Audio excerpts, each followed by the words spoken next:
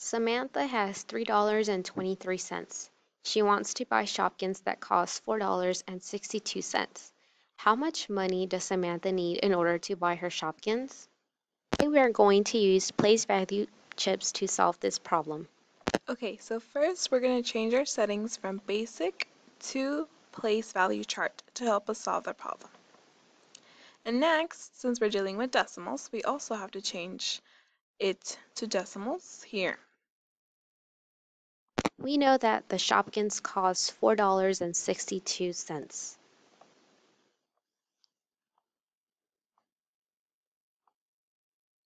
That's four dollars and we need to have 62 cents. That's 40 cents, 50, 60 cents, and 61, 62 cents. To find out how much money she needs, we need to subtract three $3.23 from $4.62. We can subtract two hundredths, but we need to subtract one more hundredth. We can regroup one tenth.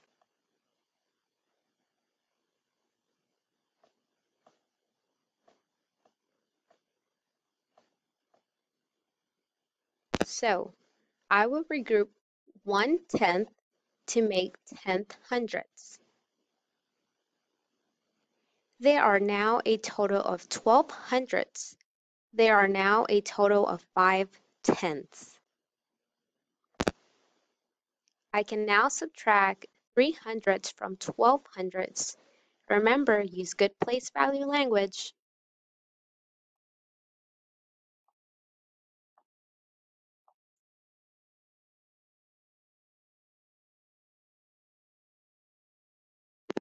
When I take away 3 hundredths from 12 hundredths, there is 9 hundredths left.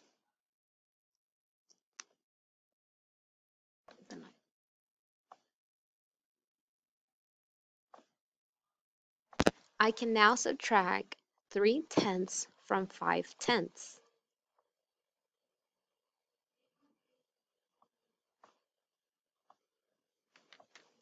There is 3 tenths left.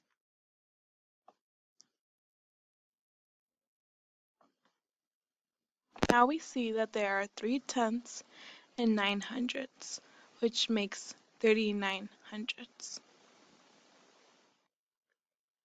We subtract 3 from 4.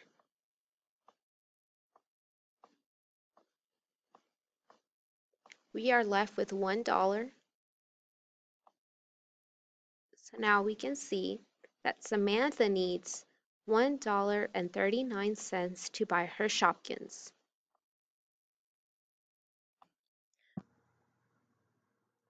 Using place value chips, we were able to find out that Samantha needs $1.39 to buy her Shopkins.